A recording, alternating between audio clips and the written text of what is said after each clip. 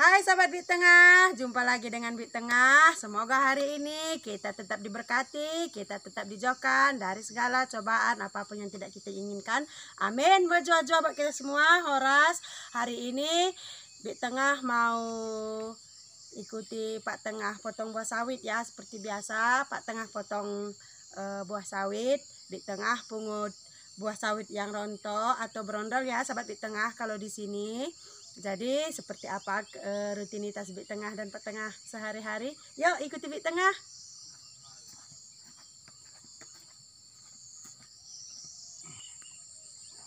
Dan sahabat Bik Tengah, seperti biasa ya.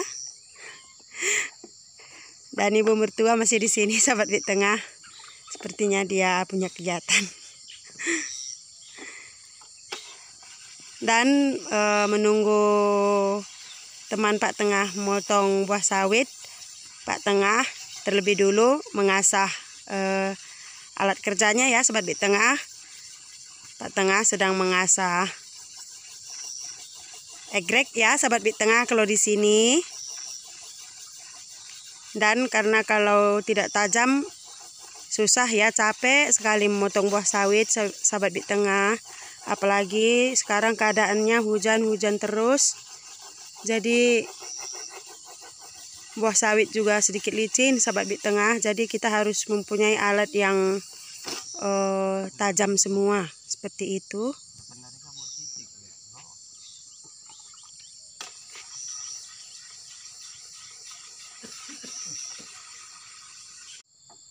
Oke, sahabat bit tengah, sepertinya. Teman Pak Tengah potong buah udah sampai di sini ya. Berarti kita bisa mulai rutinitas kita hari ini. Oke, sahabat Bit Tengah. Sekarang Bit Tengah dengan Pak Tengah dan teman-teman sudah berada di lapangan ya, di tempat kita mengupah potong buah sawit. Sahabat Bit Tengah bisa lihat di sana Pak Tengah sudah mulai potong buah sawit ya, sahabat Bit Tengah.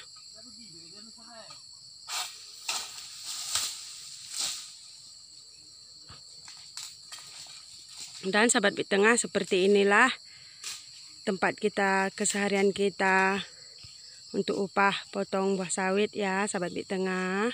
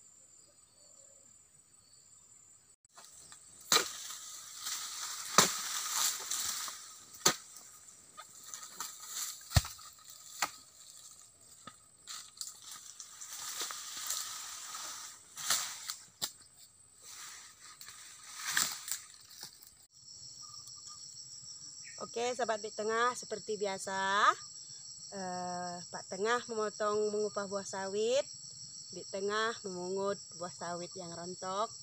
Lumayan bisa membantu beban Pak Tengah ya. Di tengah bersyukur bisa membantu Pak Tengah. Jadi seperti inilah kegiatan di tengah sahabat di tengah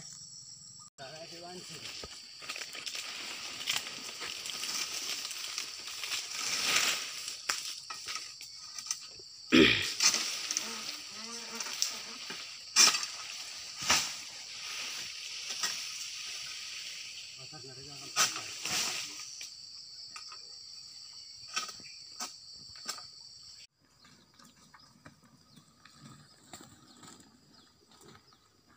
Pak Tengah sudah mulai potong buah sawit sahabat tengah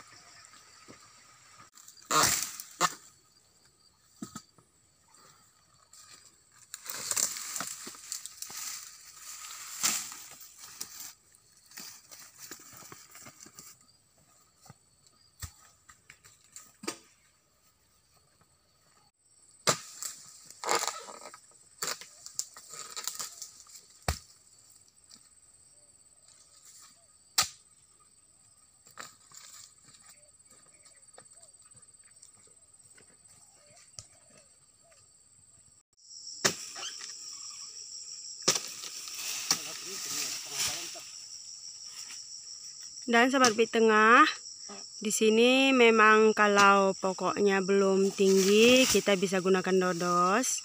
Dan jika yang tinggi, kita gunakan egrek ya. Sahabat bit tengah. Jadi setiap petengah bekerja memang petengah membawa dua alat ya, satu dodos, satu egrek ya, sahabat bit tengah seperti itu.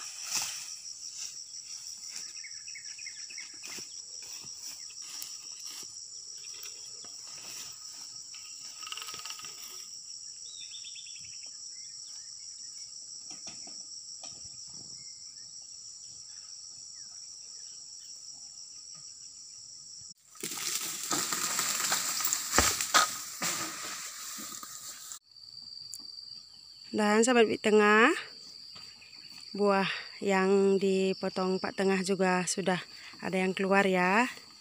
Seperti ini.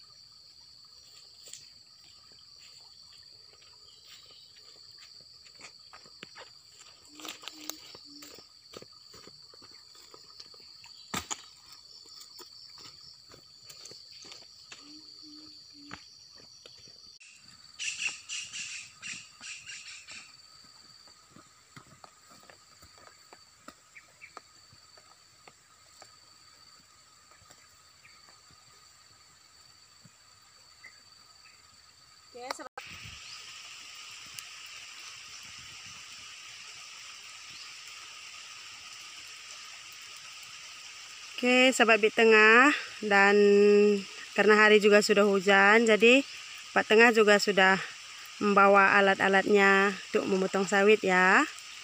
Seperti itu. Ngodung, Bang. Ngodung. Jangan tak satu lahan siap. Oh, satu lahan ngodung. Ya oke, sahabat bit tengah. Karena hari hujan, uh, Bik Tengah tanya kepada Pak Tengah apakah sudah siap. Kita pindah ancak karena hari juga sudah hujan. Mungkin kita istirahat dulu ya, sahabat Bik Tengah. Uh, hari juga sudah hujan, Pak Tengah sama Pak uh, Bik Tengah kehujanan ya. Uh, motong sawit dan karena hari hujan Bik Tengah juga cuma dapat sekarung tapi itu Bik Tengah juga bersyukur ya. Dan kita mau menyiapkan makan siang ya sahabat di tengah. Jadi sampai di sini dulu perjumpaan kita.